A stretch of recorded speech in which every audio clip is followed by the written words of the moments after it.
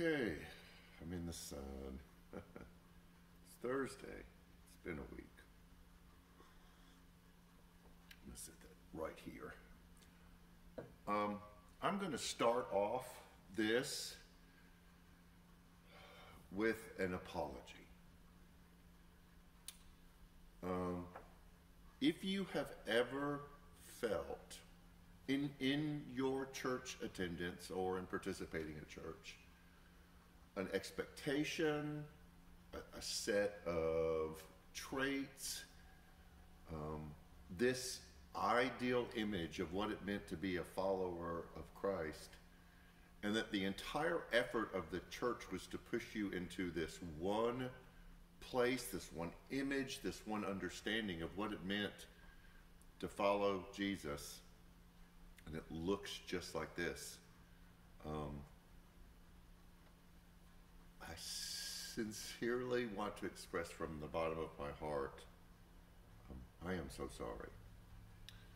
Um, these are a stack of just a few of what we call discipleship kits.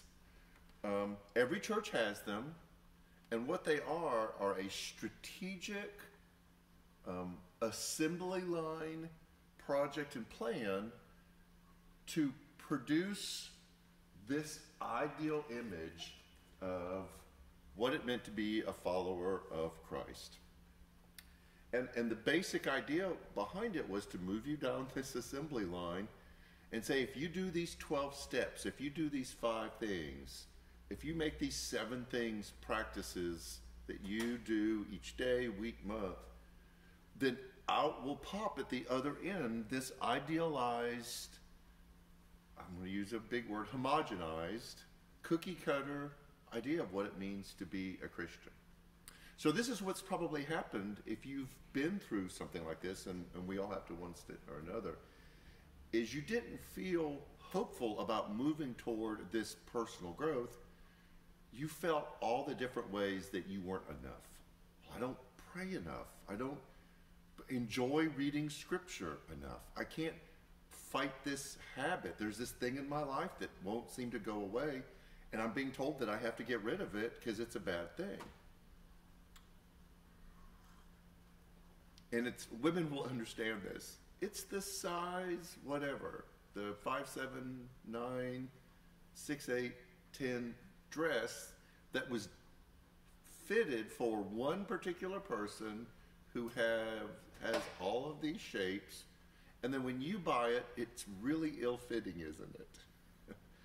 and you go like, who is this person that they're modeling this one size after? Guys don't deal with that as much. But that's what Christianity looked like. It was like, hey, here's this one model, this one example of what you're supposed to look like, and here's all the things that you have to do in order to be like that. And that's not the way it was ever designed to be. It's not the way Jesus set it up. It's not the way he related to his disciples. It's not what was taught. But because we want to mass produce Christians rather than build relationships, we put you through that um, all the time. And again, we apologize. The reason why I talk about this is we hit our third season in our season series. It's been really fascinating. I hope you go back and, and look at what happens in winter, the stillness and, and the silence. Um, what happens in spring with this renewal and this resurgence and a, resurrection of newness when you didn't feel like there was any. We're going to talk about summer. That's the reason why I'm sitting in the sun. Is summer is really the most intense and probably the most difficult of all of the seasons because the amount of effort and labor that goes into summer. Um, we're sliding into it. You know, next week it's supposed to be in the 90s. Um, but we're going to talk about a different approach to what it means to be a Christian. That there's not this perfect size, there's not this perfect form for you, but there is an understanding of uniqueness and beauty, of diversity that we're all going to grow into our fullness differently than just mass producing what you're supposed to look like. So summer will be a little bit different this Sunday. We're not going to do some of the things that we've done for winter and spring.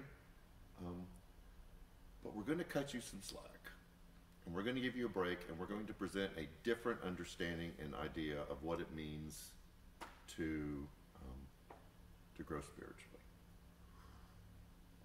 We're excited. There's a lot going on. Um, Christina joined us for staff meeting yesterday. It was a long one, but man, I'm telling you, things are happening at New Community Church, and we want you to be a part of it. And we'll we'll keep you informed as we as we go on. And we'll be announcing another new hire in the next couple weeks. Um, we have um, the Women's Hat event coming up June 4th. You can sign up in the lobby or call the church office, sign up online. I looked at the clipboard. There are lots of people signing up for that. It's going to be really exciting. In fact, the Women's Bible Study is meeting right now. Also, the Burwell, the, the gifts for the teachers at Burwell. Just a, a little background Burwell is a local school that no one had adopted. And we recognized that they were kind of out there on their own. So we took on Burwell and we are just loving on the teachers and telling them that even though they're working off in the shadows, we appreciate them. Um, that's it. Um, there's a lot going on. Check out all of our social media. We're updating things. We're working on the website right now. Download the app. Everything you need to know is on the app, and we're consolidating everything to the app. And we want to say this also. We've been saying it a little bit more lately because we are moving into a summer season. Um, as far as financially investing in the life of New Community Church, if you've been doing it for years, thank you. That means so much to us. We're able to do what we do um, because of you. If you haven't been, no pressure. We don't have an expectation of how that's supposed to be. That is a relationship between you and God and what it looks like to give. But if you are able, or if you appreciate what New Community Church is doing, or if you can just kind of like increase your giving, um, it will allow us to move into new and different areas of, as we kind of expand what New Community Church will be doing. So, that's a lot. Again, we apologize. Um, we're going to do better as the Big C Church in general. So, stay cool. Um, have a great weekend. See Sunday, virtually or in person. So, take care.